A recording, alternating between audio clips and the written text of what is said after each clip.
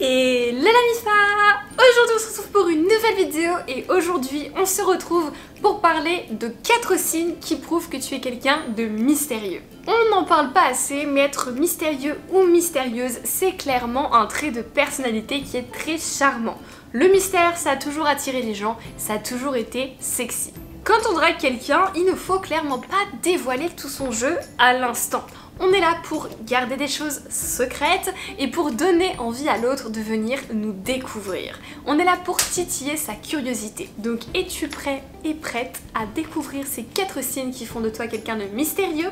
C'est parti alors, le premier signe, c'est si tu es quelqu'un d'introverti. C'est assez connu, mais les gens introvertis sont des gens indépendants.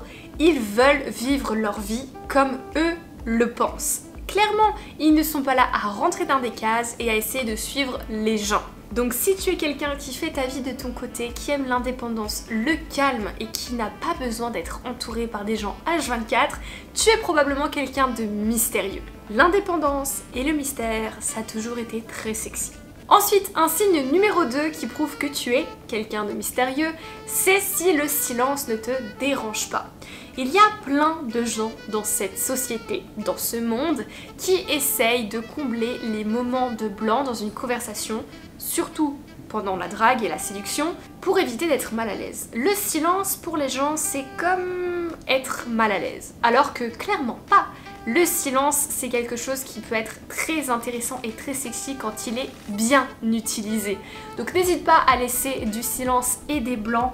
Ça laisse la personne en face se poser des questions et surtout ça lui fait remarquer que tu as confiance en toi. Tu n'as pas besoin de combler les blancs pour avoir l'air stylé ou pour pas que ce soit gênant. Non, toi tu t'en fous. Il n'y a aucune situation qui te gêne et ça, c'est sexy. Ensuite, un signe numéro 3 qui prouve que tu es quelqu'un de mystérieux, c'est si tu as ta propre façon de penser. Et oui, tu n'es pas toujours d'accord avec les gens, que ce soit les gens que tu veux draguer ou bien les gens en général. Voilà, tu as ta propre manière de penser et on t'a toujours dit que tu étais différent. Et clairement, cette différence, ça fait ton charme.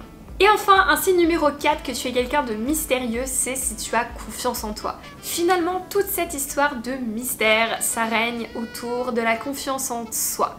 Et je le répète dans presque toutes mes vidéos, mais la confiance en soi, c'est ce qu'il y a de plus sexy et de plus attirant. Parce que clairement, quand on a une personne qui a confiance en elle, qui est indépendante et mystérieuse en face de nous, on a l'impression qu'on va louper quelque chose si on rentre pas dans sa vie.